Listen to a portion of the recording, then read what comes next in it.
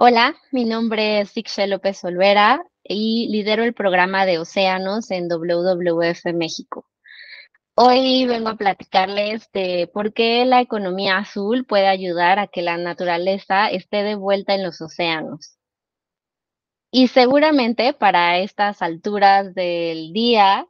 eh, ya habrán platicado de toda la importancia que tienen los océanos en nuestra vida, que son gran parte responsables o gracias a ellos podemos respirar, podemos comer, podemos también tener muchos de los artículos que tenemos en nuestras casas, en nuestras vidas, en nuestras oficinas, etcétera. Y además nos dan fuente para la recreación, el turismo, para desestresarnos y, y, son muy, muy, muy importantes para los medios de vida de las comunidades costeras. Sin embargo, los océanos están en riesgo por distintos motivos, por contaminación, por la sobrepesca y la pesca ilegal, no reportada, no regulada, por el cambio climático que está afectando de distinta manera a los océanos y a las comunidades costeras, por los plásticos y por la pérdida del hábitat en general. Y entonces, en WWF estamos trabajando para traer la naturaleza de vuelta a los océanos y esto lo hacemos de distintas maneras. Uno es conservar los espacios naturales y las especies, restaurar los ecosistemas, los hábitats que hemos perdido, reducir la huella de actividades eh, que realizamos como la pesca y el turismo, pero también para lograr todo esto necesitamos financiar estas actividades, movilizar recursos para, para lograr la permanencia de todas estas actividades eh, incidir en políticas, no solamente en políticas públicas, sino también en las políticas del sector privado para que se transformen hacia una economía azul justamente e inspirar a la acción a millones de personas para que también trabajen por los océanos, conservando, restaurando y reduciendo su huella.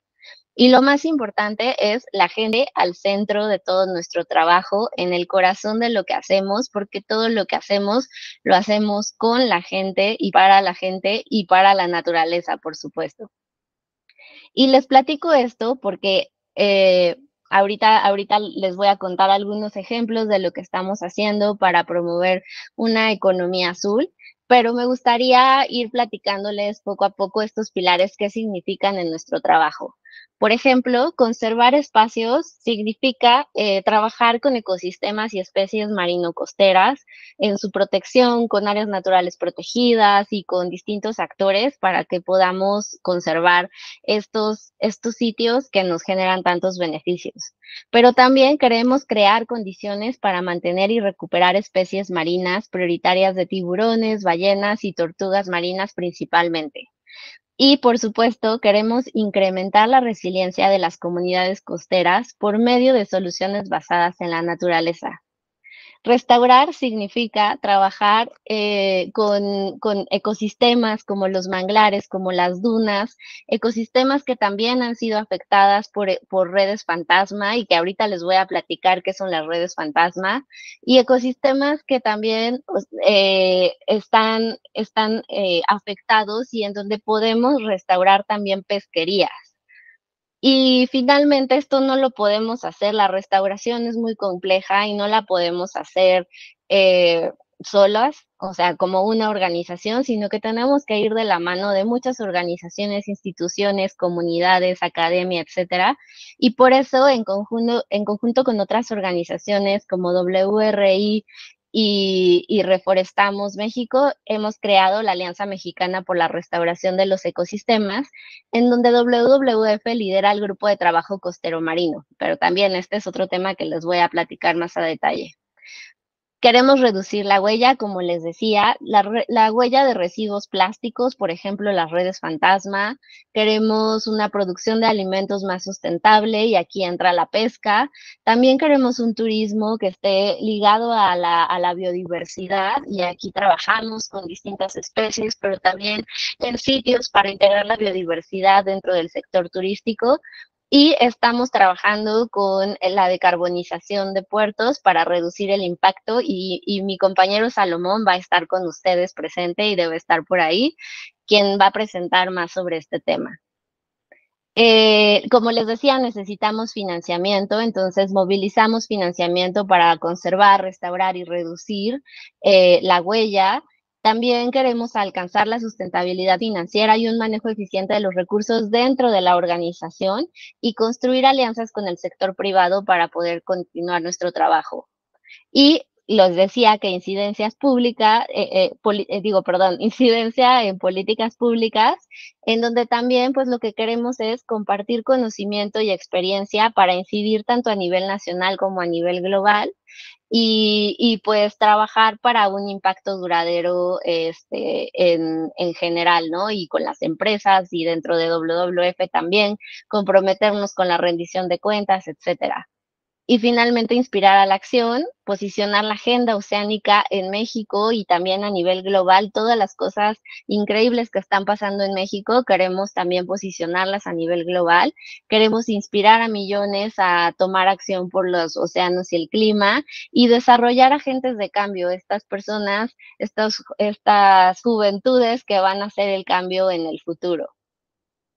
Y como les decía, pues la gente, la gente en el centro, la gente planeando con nosotros, la gente construyendo también un, mejor futuro para todas y todos. Y ahora sí me voy a centrar en los tres temas que me invitaron a platicar. Uno es el turismo oceánico sostenible y pues aquí hemos trabajado mucho porque, como les decía, o sea, todos estos pilares están entrelazados.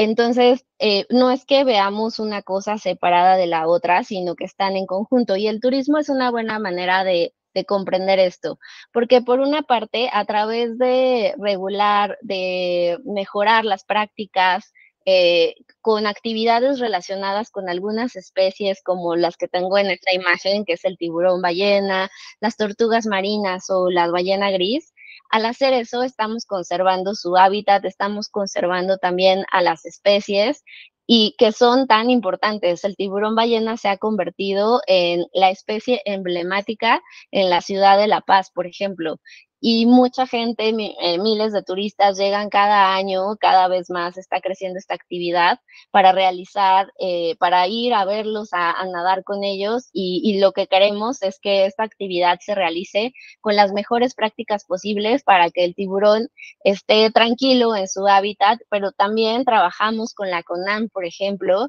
eh, para mejorar su manejo, para e, el, año pasado realizamos algunas actividades con las comunidades para dar mantenimiento a los hábitats que, rodean al tiburón ballena. Y lo mismo hacemos con las tortugas, por ejemplo, que apoyamos los campamentos tortugueros y en donde también llegan muchos turistas a liberar las tortugas o estar con ellas, observarlas, hacer monitoreo, etcétera. Y, lo que queremos es que a través de la conservación de estas especies, pues también los medios de vida se aseguren en el largo plazo. Queremos que las comunidades costeras tengan estos beneficios. Eh, además, estamos trabajando en otro proyecto que creo que también van a, van a tener ahí una plática sobre el proyecto Kushatur, en donde estamos integrando la biodiversidad en el sector turístico, WWF en, en, Oaxaca, pero eh, es un proyecto de sector con el PNUD y en donde también están trabajando otra organización que se llama Isla en Baja California Sur y amigos de Ciancán en Quintana Roo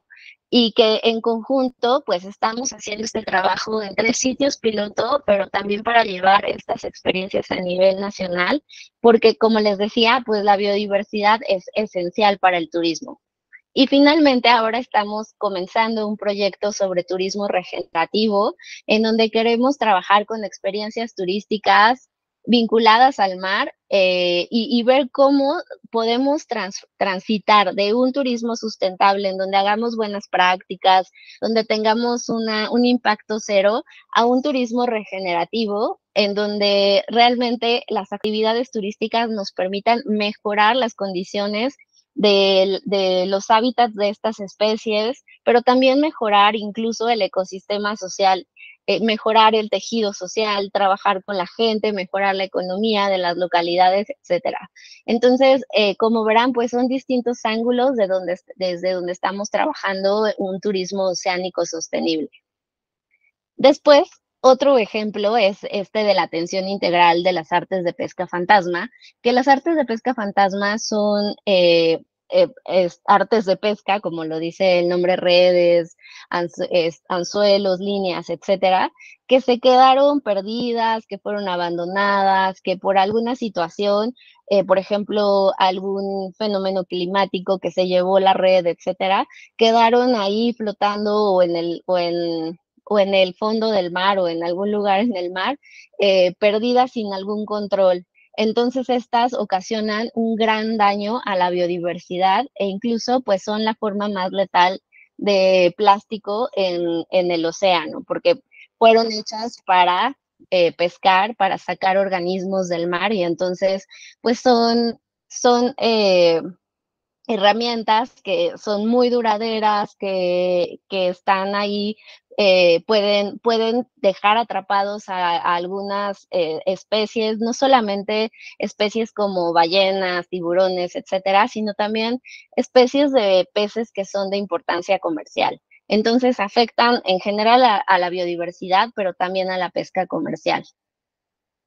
¿Y qué hacemos para evitar esto? Bueno, pues lo igual, lo abordamos desde distintos ángulos en donde nuestro esquema, de nuevo, este círculo que hacemos, pues se ve, eh, eh, utilizamos distintos pilares para atender esta problemática. Uno son las medidas preventivas. Trabajamos con comunidades pesqueras en talleres para explicar qué son las artes de pesca fantasma, pero también hemos realizado eh, algunas jornadas de recuperación de estas artes de pesca y ya también implementamos en conjunto con INAPESCA centros de acopio para las, las artes de pesca al final de su vida útil. Es decir, aquellas que ya han sido utilizadas, utilizadas, reparadas, etcétera, y que ya están a punto de que ya no van a funcionar y se van a convertir en, residuos en el mar. Entonces, pues mejor llevarlos a un centro de acopio y recuperarlas para, hacer una transformación con ellas.